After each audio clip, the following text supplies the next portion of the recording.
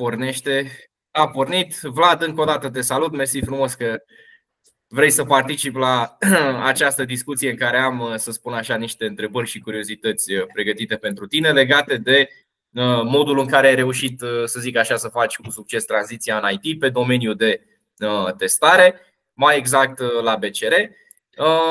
Încă o dată, cred că cel mai drăguț ar fi să începem prin a ne prezenta. Eu sunt Andrei, mă cunoști deja de un an și puțin, ca să spun da, așa.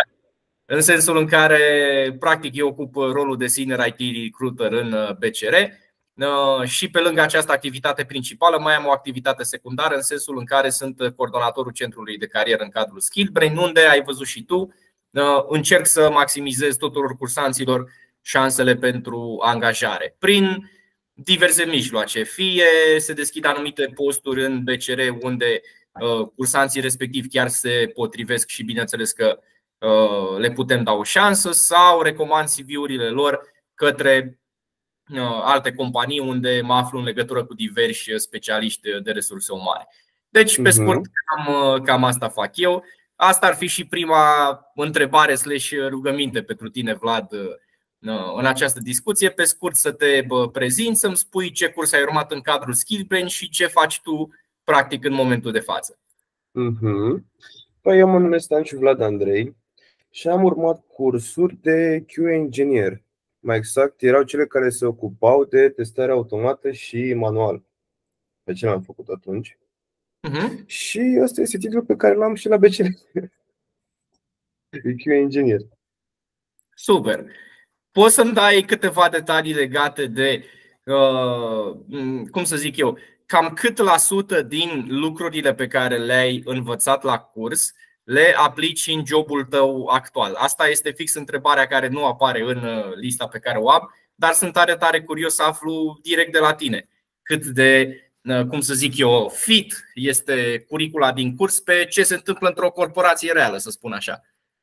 Băi, aproape de 100%, adică că până la urmă am învățat cum se ridică în bug cum se le scriem, testarea automată, cum se face, cum se drege, ceea ce aplicăm și în ziua de astăzi. Lucrul pe care nu l-am aplicat atât de mult a fost partea de, uh, de testare automată, adică facem și testare automată, doar că o aplicăm în funcție de nevoile noastre, spre exemplu. Adică nu mai știu, uh, când am făcut cursul, testam în uh, testing, nu știu cum, pe Java, iar astăzi testăm în Unit, nu știu cum Unit, ceva de genul. Dar e același lucru, asta e singura diferență. Dar în rest, mhm. tot ceea ce am învățat în cursuri am aplicat în ziua, aplicăm în ziua de astăzi. Același lucru și pe testare manuală și pe testare automată. Super. Și tu practic ce faci mai mult? Testare manuală, testare automată sau efectiv ești confortabil cu amândouă și deplin de, de cerințele proiectului sau din partea managementului? Uite, aș putea să spun un procent.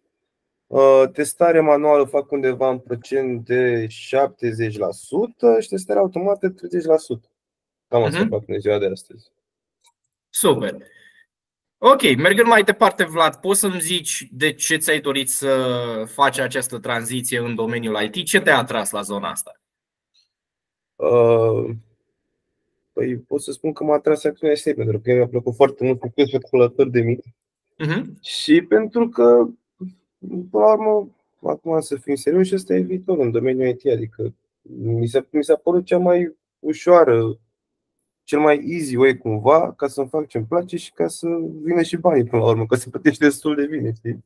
Corect, corect, corect. Da. Super, mersi frumos, Vlad. Poți să-mi zici mai departe cum ai aflat de cursurile Skillbrain? Nu știu, te-a contactat vreun agent în mediul uh, online sau ai văzut la un moment dat o reclamă sau ai intrat random pe website? Cum s-a întâmplat? Oh, deci dacă spun, efectiv a fost super, super random. Eu tocmai ce terminasem liceul, liceul, doamne, tocmai ce terminasem facultatea, mă apucasem și de master, dar eu fiind pe profil economic nu aveam cum să intru în IT, că mi-a destul de greu să le învăț singur. Și nu știu cum s-a întâmplat, am văzut random pe la 11 noapte o reclamă pe Instagram, fix de acolo am luat. Uh-huh. Da, de acolo am văzut reclamă. Am, uh, am studiat puțin uh, ce se oferă și atunci am uh, discutat cu niște prieteni care lucrează și tot în domeniu. Unul dintre ei e ceva, e fapt era atunci, developer, acum mai sus cumva mai cum se numește, iar celălalt încă este se ocupă de cyber security. Le-am arătat și lor și m-a spus, da, adică arată bine. Ce preț era atunci? Atunci erau mai ieftin decât e acum, cu siguranță. Și pot să spun că am scos bani de mult, cât a plătit. Super! Mă bucur foarte mult, Vlad. Poți să, acum dacă îți mai amintești, poți să-mi dai câteva detalii despre cum a fost colaborarea pe care ai avut-o cu mentorul tehnic din Skillbrain, overall, cum ți s-a părut? A fost ok, n-a fost ok, te-a ajutat, etc. Da, de ajutat m-a ajutat. Mi-aduc aminte, aveam, deci ne-am avut așa, am avut un, un mentor, prima oară, acel mentor nu a putut face față tuturor uh, cerințelor noastre pentru că aveam nevoie de mai mult suport. Uh-huh. Și știu că primul mentor plecase, dar al doilea care a venit a fost mult mai ok decât primul, mult mai responsiv uh, și se pricepea mai bine decât primul, sincer. Adică le știa, parcă le știa lucrurile mult mai bine decât primul, le da mult mai bine. Se prindea mai repede ceea ce nu știam noi, nu știam să explicăm foarte bine. Și avea și o multă răbdare, pe care asta e diferența, că avea multă răbdare. Da. Super, deci, mersi frumos. treabă super bună. Plăcere.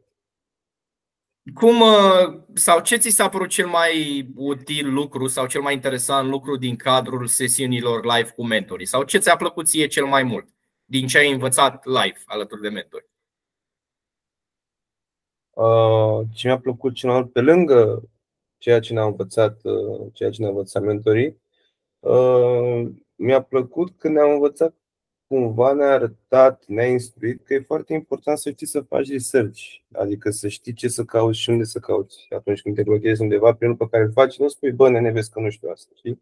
Cauți și tu mai întâi și apoi vezi dacă te expulsăm. Dacă chiar nu, dar nu, dacă chiar ești blocat, neam, n-ai cum să rezolvi, atunci apelezi la un ajutor anume, știi? Și el a învățat cum să faci research, cum unde să ne uităm, ce să căutăm și așa mai departe. Atunci nu aveam ChatGPT, acum mai simplu cu ChatGPT, dar așa am învățat cum să, cum să, să ne deblocăm Stack Overflow și multe alte site-uri.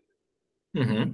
Și uite că ai pomenit de ChatGPT, din nou, întrebarea asta nu apare pe cele pe care le-am pregătit pentru tine, dar uh, într-adevăr sunt curios. Uh, cât de mult te ajută ChatGPT în activitatea ta de zi cu zi ca și QA, uh, QA tester? Uh, pot să spun că destul de nu pot să spun destul de mult, mă ajută pe partea de testare automată, dar nu pot să spun că fără să n face față. Mă ajută când am nevoie să scriu niște linii de cod sau să le schimb din JavaScript în Java, spre exemplu. Din, uh-huh, mă ajută mult să le scriu, că doar bag linie de cod respective și mi le schimb. Spun vreau din JavaScript să le fac în Java. Nu le face el exact 100% cum trebuie să le fac, că mi-am dat eu seama cum să le scriu și ce am de făcut. Lasă-mă. Uh-huh.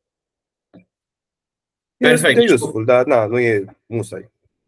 Am înțeles. Mă bucur foarte mult că mi-ai dat această informație, deoarece în ultima perioadă am tot avut debate-uri cu diverse persoane din IT care, more or less, îmi spunea faptul că ChatGPT în maxim un an de zile, gata, vine și automatizează 60% din toate joburile existente, inclusiv joburile IT-știlor. Eu sunt de părere că, uh, totuși, e nevoie în continuare și de input uman, un lucru pe care îl înțeleg și de la tine.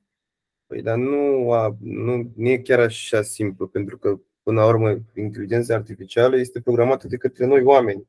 Pentru că noi, practic, noi scriptăm să știe lucrul XYZ. El nu are conștiință ca la rândul lui să se dezvolte el singur. Tot noi trebuie să-l dezvoltăm. El nu poate să gândească singur. Informația trebuie să o ia de la noi. Corect. Da. Da, din nou, chestia asta este up to debate, dar uh, mă bucur că suntem pe aceeași lungime de undă, ca să zic așa. Da. Bun. Uh, suntem undeva pe la finalul, uh, pe la finalul, doamne, pe la mijlocul discuției, Vlad, și aș vrea să trec, pardon, mai departe cu următoarea curiozitate. Știm cu toții că programul pe care îl avem în ziua de azi e unul cât se poate de încărcat. Da? Adică avem foarte multe responsabilități și foarte multe lucruri de care trebuie să Uh, avem grijă și aș vrea să te întreb, în momentul în care te-ai apucat de aceste cursuri de redirecționare carieră, poți da. să-mi spui cum ai reușit să îți managiuiești timpul astfel încât să ai timp și pentru teme, să și înveți lucruri extra, poate lucruri care se predau pe lângă curs, să participi la toate sesiunile, să fii activ. Cum ai făcut față cu toată această încărcătură? Pentru că îmi plăcea. nu mă mai jucam pe calculator, nu știu, înlocuiam locuiam, spre exemplu, uite, locuiam gaming-ul, mă jucam foarte mult cu treaba asta. Și pentru că îmi plăcea, îmi plăcea să particip și la cursuri, îmi plăcea să învăț, pentru că programarea îmi plăcut foarte mult, e foarte frumos. Dacă îți place pe urmă, nu mai vezi ca pe o povară, știi? O să vezi ca pe un hobby, că nu știu, mi s-a părut foarte tare. Gen, eram super, super happy atunci când scriam cod și vedeam, frate, uite că iese, că am învățat ceva. Adică, asta mm-hmm. e ideea. Că poți să-ți faci timp. Adică, uite, aveam și zile când uh, mi se făcea mie, intram să lucrez, nu știu, pe la 11 noapte și terminam la, nu știu, 12 1 sau începeam la 9 să lucrez și terminam pe la 12 și whatever. Adică nu aveam un program fix, acum fac asta, acum fac asta, acum fac asta, acum fac asta. Făceam și când de picături, puteam să și un sfert de oră și jumătate de oră. Când aveam eu chef, adică știi, astfel încât să, să fac treaba, să pot să acopăr tot. Dar nu aveam un program fix, îmi plăcea și nu vedeam ca pe o am înțeles. Deci mi-e foarte clar că tot procesul te automotiva și pe măsură ce vedeai da. că ți iese un lucru, vai să-l faci pe următorul și tot așa.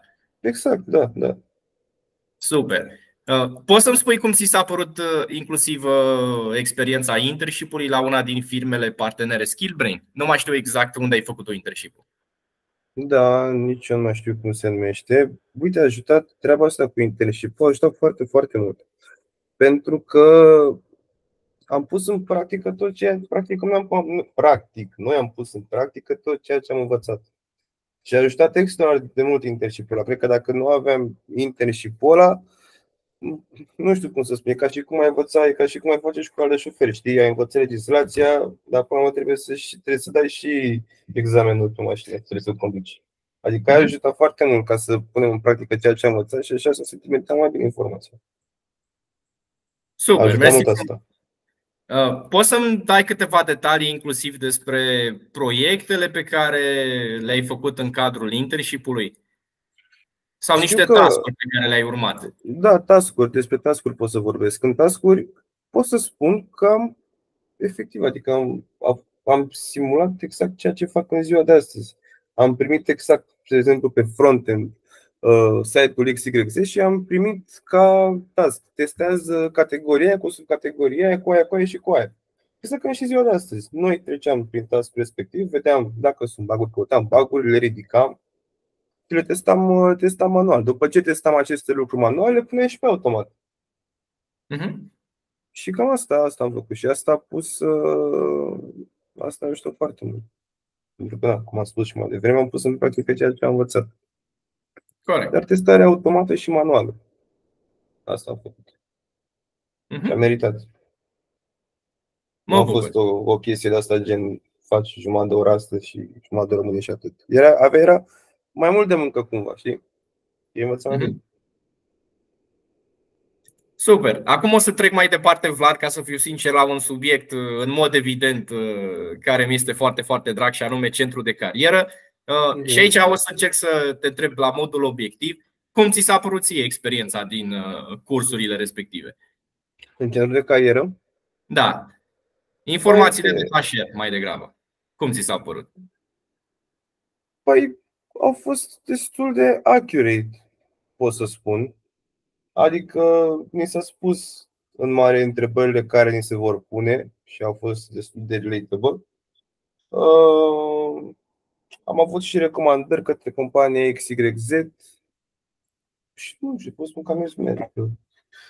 Ideea este că eu m-am angajat puțin mai târziu, pentru că nu era chiar atunci perioada de angajare. Nu știu, terminase minte și undeva prin noiembrie, ceva și nu găseam chiar atunci uh, să găsesc pentru, pentru junior. Era mai mult pentru mid pentru mici și pentru, și pentru senior. Pentru junior nu erau atunci. Dacă aș fi terminat în primăvară, probabil că aș fi găsit mult mai repede atunci. Dar, anyway, am terminat cursul uh, și după în vară am venit și înainte și uite, și și v-am jur.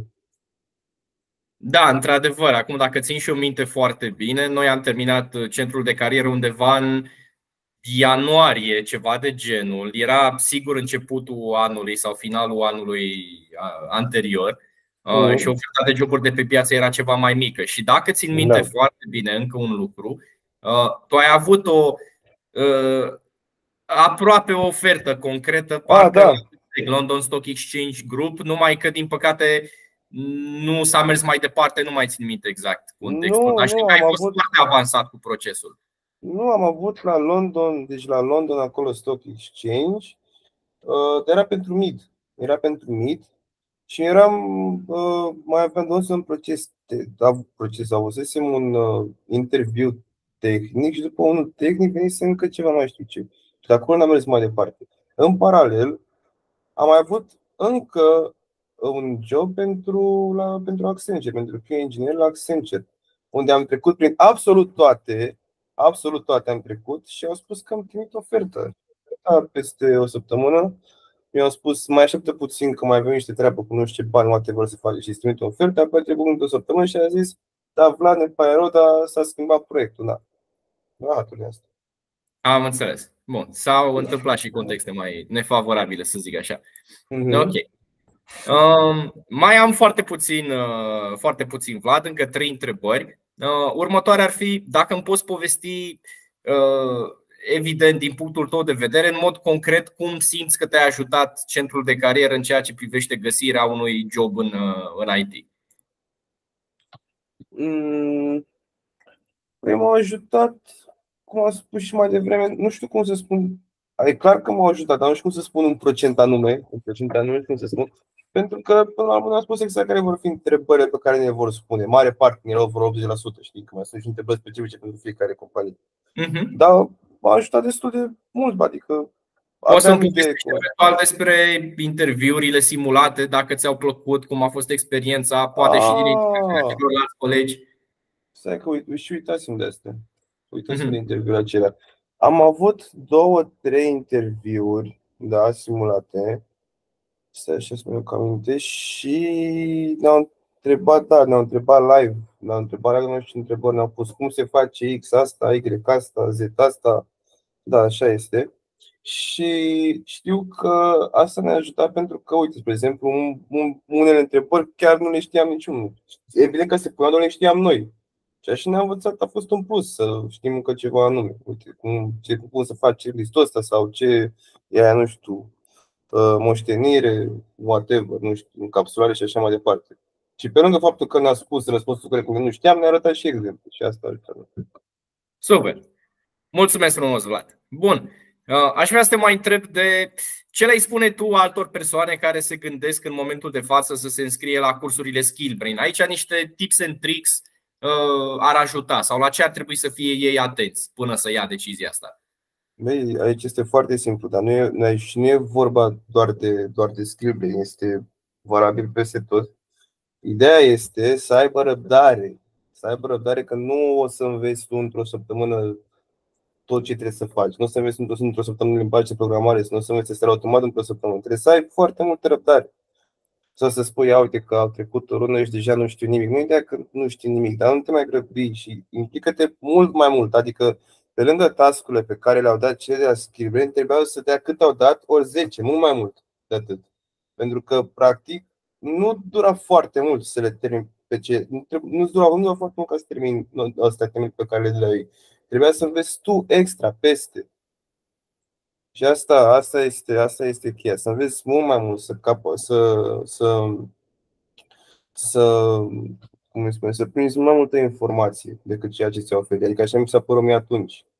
Am făcut mm-hmm. și mai multe extra, am făcut și pe aia și pe aia, am făcut și research pe internet. Și asta e ideea. Și să ai răbdare. Că nu o să înveți o săptămână sau într-o. Nu e așa ușor.